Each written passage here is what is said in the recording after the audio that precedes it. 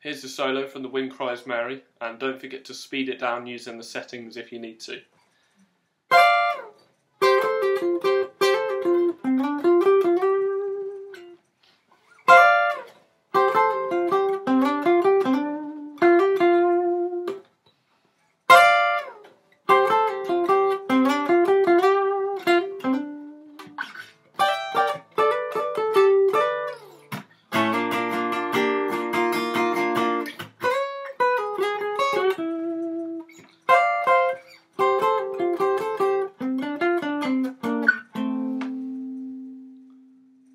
Two things to note from that are that the endings of these phrases, and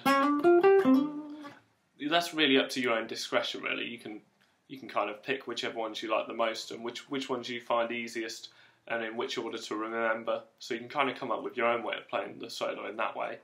I think that's always a good a good approach to take, rather than worrying about playing it exactly like Hendrix, which none of us are ever going to do. Um, now you might have noticed instead of doing the in uh, doing the bends,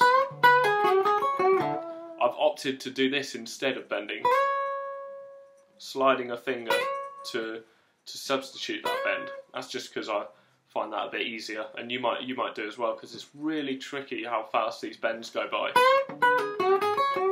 So what I do is I do a slide, slide, and then little bend for that blues note at the end.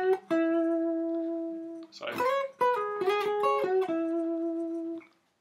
and uh, the other thing I wanted to discuss quickly is don't forget uh, the concept that we spoke about with the uh, sliding up to a major third. So we're in the key of we're in C now. We're playing the C chord.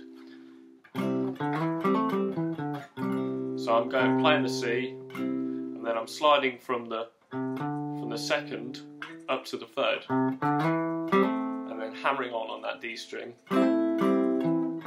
And that works on all these chords, and, it, and you can really uh, have a lot of fun improvising with them. For example,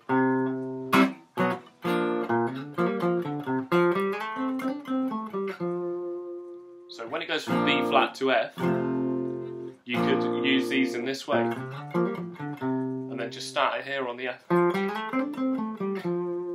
And that's linking into this shape. Or you could choose to go for this F shape, where it will be the same thing, but with a slightly different sound to it, which is really cool. It really opens up your playing.